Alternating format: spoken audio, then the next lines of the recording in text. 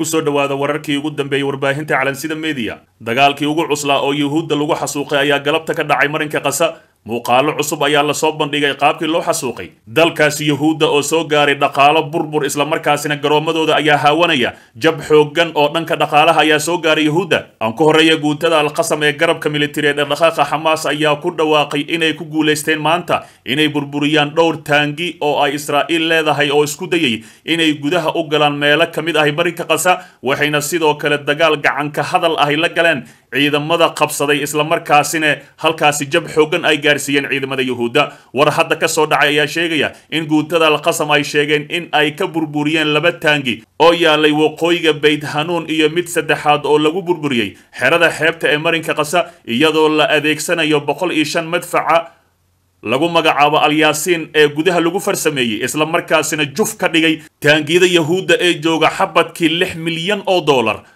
shalay oo keliya laba iyo labaatan taangi ayaa laga gubay oo min lix milyan oo dollar jooga. Khasaare xooggan ayaa ku socda.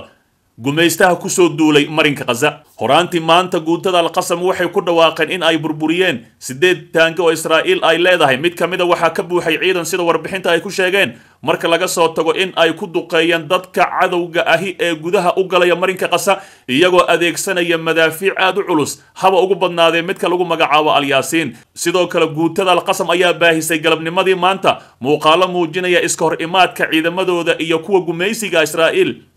Ay gudaha u galeen waqooyi galbeed ee magaalada baytlahiya labadii maalmood ee la soo dhaafay waxaana guulo ka gaaray iska caabinta ay ku burburiyeen tiro gaadiid ahi oo ay la socdeen ciidamadooda. Muuqaalada ayaa muujinaya dagaalyahanada iska caabinta falastiiniyiinta oo si dhow ula dagaalamaya canaasiirta qabsatay oo ku daba juray iyagoo adeegsanaya qoryaha darandooriga u dhaca iyo gantaalada culus ee halkaasi la isku adeegsanaya. Si kastaba ha ahaatee dadka xaq udirarka ee falastiiniinta ayaa la arkayay ayagoo ka soo baxaya dhismaha burburay islamarkaasina taangiyada halkaasi xamaalanaya ayay dhegta dhiigga u darayaan isla markiiba meeshaas ayuu ku gubanayaa. Waxay adeegsanayaan mid gudaha lagu farsameeyey alyaasiin boqol iyo shan lagu magacaabo taangi lix milyan oo dollar jooga ayna ku faanto.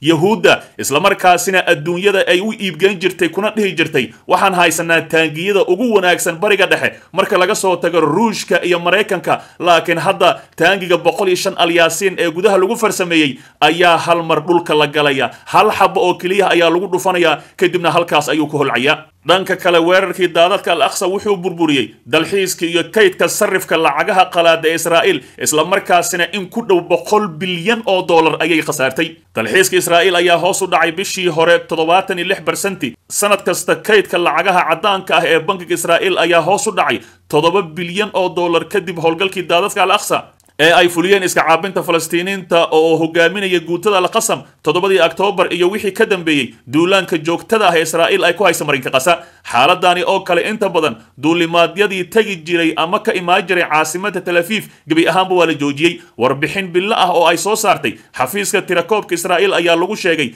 sagaashan kun oo dalxiisayaal ah oo booqdeen israa'iil intii lagu jiray bishii oktoobar ee la soo dhaafay kuwaasi oo intooda badan soo galay waddanka ka hor dagaalka intuu bilaaban dalxiiska shisheeyaha israa'iil ayaa dhaaftay saddex boqol iyo toddobaatan kun muddadii u dhigmatay sannadkii hore taasi oo muujinaysa baaxadda khasaaraha soo gaaray dalkaasi yahuudda dhanka kale warbixinta ay soo saartay shabakada sirta ah ee duulimaadyada ee la socota duulimaadyada ayaa muujisay hoosu dhaca weyn ee ku yimid duulimaadyadii garoonka diyaaradaha ee magaalada caasimadda yahuudda siddeetan barsanti gebi ahaan bin albaabada loo xiray hoos u dhaca sarifka lacagaha qalaad sida laga soo xigta bankiga dhexe ee yahuudda kaydka shisheeye wuxuu hoos u dhacay toddoba dhibic saddex bilyan bishii la soo dhaafay wakhtigaas oo bankiga dhexe uu doonayay inuu taageero dagaalka ka socdo marinka qasa sidoo kale kaydka wuxuu hoos u dhacay saddex dhibic toddoba ilaa boqol sagaashan iyo kow dhibic laba bilyan taas oo ah heerkii ugu hooseysay sanadkaani.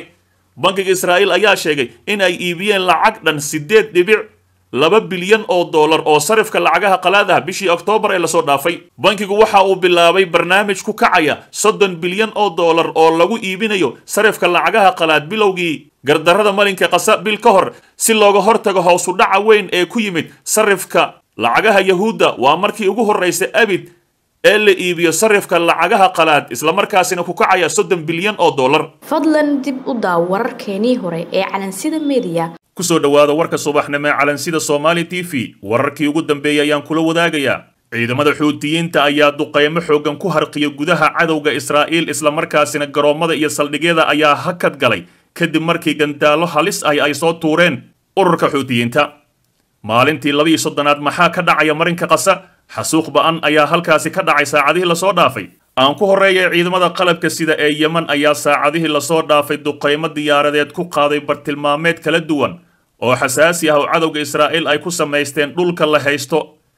Sida uu hadalka u dhiga afhayeenka ciidamada dalkaasi sarreeyo guuta yaxyo saree dhaqdhaqaaqa saldhigyada iyo garoommada diyaaradaha ayaa gebi ahaanba istaagay. Bayaan ka soo baxay afhayeenka ayaa lagu yidhi ciidamada yemen oo kaashanaya allah subxaanahu wa tacaala ayaa saacadihii la soo dhaafay duqaymo diyaaradeed ku qaaday.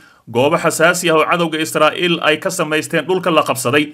Howlgalkani ayaa sababay in dhaqdhaqaaqyada saldhigyada iyo garoommada diyaaradaha ay istaagaan muddo saacado ahay ciidamada yemen iyagoo isku halaynaya allah subxaanahu wa tacaala waxay sii wadaan howlgallo ciidan oo tayo leh oo ay ku taageerayaan guulna ugu soo hoyeen dulmiga lagu hayo shacabka reer falastiin iyo iyagoo ka jawaabaya baaqyada shacabkeenna reer yemen iyo dhammaan shacuubta qaranka. Dulmiga arxanka daran ee israa'iil ay ku hayso walaalaheen khasa ayay tani jawaab u tahay ayaa lagu yidhi bayaan ka soo baxay ciidamada qalabka sida ee yemen waxayna sheegeen inay gebi ahaanba adeegsadeen hub aad u sarreeyo iyo gantaallo guuxooda ka sarreeya. Si kastaba ha ahaatee ciidamada xuutiyiinta dagaalka ayay si toosa ugu soo biireen halkaas ayay ka soo hurgufayaan gantaaladooda barakaysan. Dhinaca kale usaama xamdaan guuldarradii cadowga toddobadii oktoobar been laguma qarin karo. Hogaamiyaha dhaqdhaqaaqa iska caabinta islaamiga ee xamaas usaama xamdan ayaa sheegay fashilka cadowga soo gaaray toddobadii oktoobar in sacbaha lagu qarin karin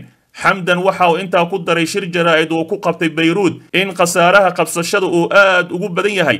Waxa uu ku dhawaaqayo taasina waa sababta qarax dembiyeed oo aan horey loo arag. Waxa uu sheegay in qasa weligeed ay ahaan doonto qabuuro ay ku aasan yihiin dadka daalimiinta ahay. Waxaana guusha qornay toddobadii oktoobar isagoo xusay in guutada alqasam garabka militari ee xamaas iyo dhaqdhaqaaqa wax iska caabinta ay ka dagaalamayaan dhinac walba oo ay jab weyn u geysteen safafka cadowga. Xamdaan waxa uu tixgeliyey in dhaqdhaqaaqa xamaas uu sii ahaan doono islamarkaasina aanay jiri doonin.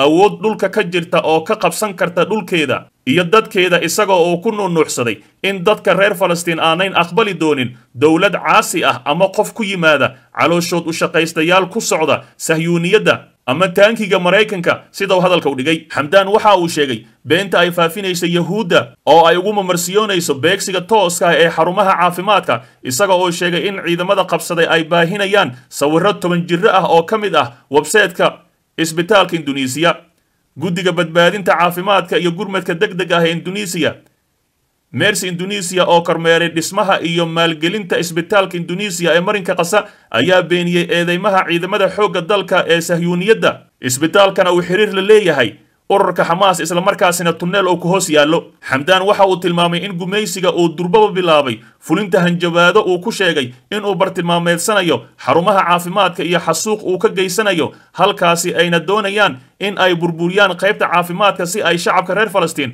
ugu barakiciyaan dhulkooda ayuu yidhi. Geesta kale maalintii labi-iyo soddonaad dagaalka gasa daraasiin falastiiniyiin ahi ayaa ku shahiiday. Duqaymo xooggan oo habeenimadii xalay israa'iil ay ka geysteen maalin kastana xasuuq ayay halkaasi ka wadaan. Duqayn labaad ayaa xalay loo geystay xerada maqaasi waxaana ku dhintay toddobaatan iyo shan shahiide.